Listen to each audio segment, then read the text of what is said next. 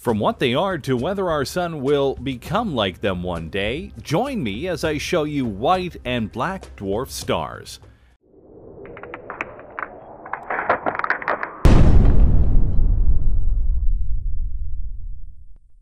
There are many stars in the universe. That's part of the reason why the universe is so special. There are stars of massive sizes, there are ones that are massive and yet don't shine brightly, or ones that are so small that they can't be seen outside of a certain distance. This variety makes our universe even more special as a whole. But when it comes to some of the most unique stars of the set, that would be the white and black dwarf stars. So let's ask the basic question What are white and black dwarf stars?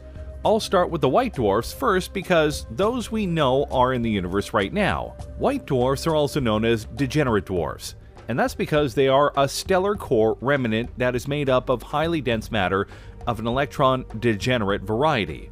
In short, the star is one that is very small and yet very dense in terms of its makeup. A great way of thinking about it is that a white dwarf can have the size of our planet, but its mass is more equivalent to that of our own Sun. And if you didn't know, you could fit 1.3 million of our Earths into the Sun. So imagine having that much mass in something the size of the Earth. That's one of the major reasons why white dwarfs are so special. Here's the rub though despite having all of that mass and energy, a white dwarf honestly doesn't shine that brightly. This is because, unlike most other stars in the universe, it doesn't have any nuclear fusion going on within itself. Our own sun does that for the record, Instead, the light it produces is thermal energy built up from the stores of it from within its core. What might surprise you, though, is that while there are only said to be about 8 white dwarf stars within the 100 star systems nearest our own Sun, many believe that the white dwarf is the final fate of many dying stars. Specifically, white dwarfs are thought to be the final evolutionary state of stars whose mass is not high enough to become a neutron star. If you're curious, that definition would apply to about 97% of the stars in the Milky Way galaxy, which means that having that many white dwarf stars would cause some serious problems down the road, but that's something we'll get into a bit later. It should be noted though that one of the eight white dwarf stars we know about is only 8.6 light years away at Sirius B, which is one of the many reasons we even know about it at all. So how does something like our own sun go from being like that to a white dwarf star? Well, it's not an instant thing, if that's what you're wondering. It's very much a thing of phases. After the hydrogen fusing period of a main sequence star of low or medium mass ends, such a star will expand to a red giant, during which it fuses helium to carbon and oxygen in its core by the triple alpha process. If red giant has insufficient mass to generate the core temperatures required to fuse carbon around 1 billion Kelvin, an inert mass of carbon and oxygen will build up at its center. After such a star sheds its outer layers and forms a planetary nebula, it will leave behind a core, which is the remnant white dwarf. So as you can see, this is something that takes billions of years to complete.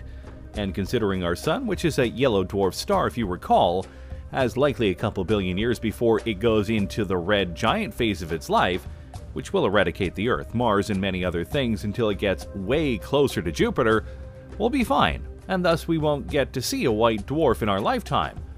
That's not to say that other star systems won't get to see it happening sooner. And it's possible, if we find the right star, that we could watch a white dwarf being born. Theoretically, of course. Speaking of theoretically, let's dive into the other side of the spectrum, the black dwarf star, because this may not be exactly what you're thinking it is. Before we dive into that black star topic and such, be sure to like our video and subscribe to the channel, that way you don't miss any of our weekly videos. Okay, so what exactly is a black dwarf star? To answer that, we actually have to go back to the white dwarf star. Don't worry though, it won't be that long though. You see, because of the fact that the white stars don't do nuclear fusion to maintain its heat and shine, and thus relies on stored thermal energy, that means that eventually they're going to run out of power. In this case, they gradually cool over time. Granted, because of the density of white dwarfs, that's a long, long time, but when they do, their surfaces will start to crystallize until eventually they're a black dwarf star. Theoretically. What do you mean theoretically, you're asking? Well, that's because as of right now, we don't know if a black dwarf star is in the universe. I know that sounds weird, but let me explain. You see, the white dwarf stars take their sweet time in cooling off. We're talking billions upon billions of years, to the extent that more than likely any white star that was born near the beginning of the universe, which is of course an assumption as we don't know exactly what was around at the beginning of the universe, hasn't had enough time to cool off enough to turn into a black dwarf. In fact, we really don't know just how long it would take for such a white dwarf to turn into a black dwarf. And obviously, it's not something we can just wait around on because, well, it's very likely that we're not going to be around to witness one, I'm just saying.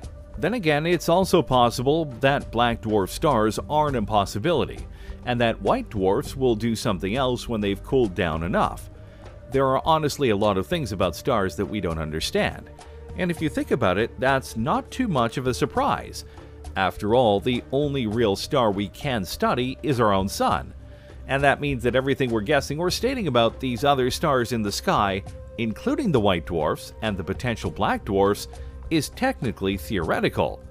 Sure, we have bases for most of it, including the transformation into other faces like the red giant and more, but other aspects are a bit more of a up for interpretation kind of thing. It's not the best of situations, obviously, but we make it work. But let's picture a black dwarf star in the sky. What exactly would it look like? Well, not unlike a black hole, you likely wouldn't be able to see it unless you're looking right at it.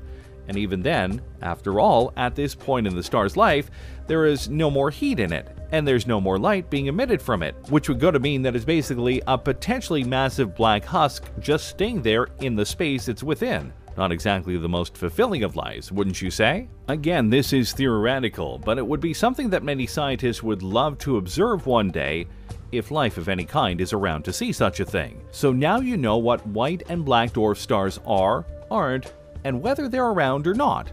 What is there left to talk about? Well, how about this? Do you want to know if we could actually live around a white dwarf star? Now, to be clear, I'm not talking about our own solar system, as humanity likely would be long gone from that system in one form or another, i.e., colonization of other worlds or the destruction of all life via the sun being a red giant. But for the sake of argument, let's say that we found a planet that was in the habitable zone, where the sun's light and heat was enough to allow the potential for water and life sustainability of a white dwarf star. Would it be possible to truly live there? Based on what scientists have found about the white dwarfs, yes, with a few catches though. I want you to first think about our own star, our Sun. Think about how far we are away from it 93 million miles and what that allows to do on Earth. Our Sun really is the perfect star for what we try to do in terms of life. We get the perfect amount of heat, light, radiation output, and more that affects us just enough to live, and yet doesn't weigh us down with too many negatives. For a white dwarf star, a lot of that is up for debate, not the least of which is that to get the light and heat to survive, because remember, white dwarfs run off thermal energy and not nuclear fusion, we need to be way closer to the white dwarf than we are with our own sun. How much closer? Well, instead of 93 million miles away, we need to be about, say, 1.8 million miles away, which I know still feels like a long way away from a sun, but it's really not. Furthermore, scientists speculate that while this could work, the planet would likely have to be tidally locked, always having one side face the sun, in order to get the constant sun and heat needed to maintain the status quo of life. While this may not sound so bad at first, scientists have also pointed out some problems in trying to live in this kind of an area or zone. First and foremost, given the amount of time needed to get a star into the white dwarf phase of its life, the sanctity of the planets would be in question. Severe question, in fact. And not just about what's on their surface, but what's within their cores. Many feel that by the time such a white dwarf was born, that the planets around them would have such less mass than something like Earth that it would have to make it worth it to try and live there for any period of time. Even though theoretically we could live in such a place by that star for about 3 billion years before things get so cooled off in regards to the star that we feel the effects on the planet we're on. This is why the study of stars like this is so important because right now we're working really hard to try and find a place outside of our own solar system to live should we need to evacuate Earth in a hurry. Yes, we're already doing plans to get to Mars and possibly even some of the moons of Saturn and Jupiter, but those are more temporary solutions. They're likely not long term answers because of the fact that we'd have to build things to make life sustainable rather than just being on a planet that is sustainable. We're looking at places like Alpha Centauri for the answer of where we can go next. But to understand what planets might be the next place for us to live, we need to know more about the stars in the sky. Sometimes we just don't realize how much the stars impact our lives, and I would wager that you didn't know that white dwarfs were a thing. Or even if you did, I bet you didn't know their importance or what they were in the life cycle of said star. And though black dwarfs are theoretical, it's important to think about what stars do when they die because sometimes they transform into other stars like white dwarfs, neutrons, etc. And sometimes they transform into black holes. So, in many ways, we should be grateful that white dwarfs exist because they're a good middle ground, if you will, for the dangers of neutron stars and black holes as a whole. Then again, what would the universe be like if 97% of the stars, just referencing the Milky Way galaxy for now, were white dwarfs? Well, first and foremost, the night sky would be a lot darker. Again, white dwarfs are one of the kinds of stars that don't emit a lot of light, and so they go and do their thing with very minimal output. And since you need stars to pour out lots of light in order to make it shine in the universe as a whole, if the majority were white dwarfs, then that would mean the night sky would be pretty much blank, especially if you viewed it from something like the Earth. The other problem that it would cause is that a lot of the planets in the universe are directly changed or altered by the Sun itself. So if you have a planet that was next to a red giant, and its climate and weather effects were directly affected by the mass and the heat of that star, and then it turned into a white dwarf, that planet would be drastically changed, and the effect would be near immediate due to the degrees of change. So yeah, while we may not have a white dwarf directly near us, and our sun likely won't become one until we're long gone, we're good in that we don't have to face these kinds of effects. But it's always good to know what might happen should one come our way. Thanks for watching everyone. What did you think of this look at the white and black dwarf stars that are part of our universe? Did you know that these stars existed before you came and watched the video? Do you think that the universe will be full of these kinds of stars one day? Let me know in the comments below. Be sure to subscribe, and I'll see you next time on the channel.